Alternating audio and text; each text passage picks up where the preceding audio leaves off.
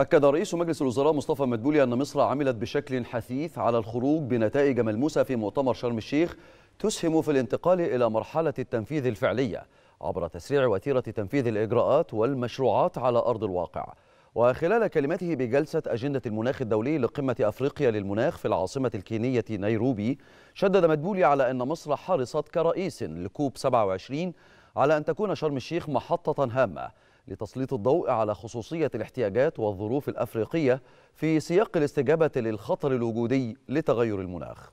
فإن مصر ومن منطلق التزامها بالمساهمة الفعالة في الجهد الدولي لمواجهة والتعامل مع التغيرات المناخية عملت بشكل حثيث على الخروج بنتائج ملموسة في مؤتمر شرم الشيخ تسهم في الانتقال إلى مرحلة التنفيذ الفعلية عبر عبر تسريع وتيرة تنفيذ الإجراءات والمشروعات على أرض الواقع وتتعامل مع مطالب الدول النامية بتحقيق العدالة المناخية وتعزيز الجهد الدولي للتحول العادل والسريع للاقتصاد منخفض الانبعاثات والقادر على التعامل مع آثار تغير المناخ.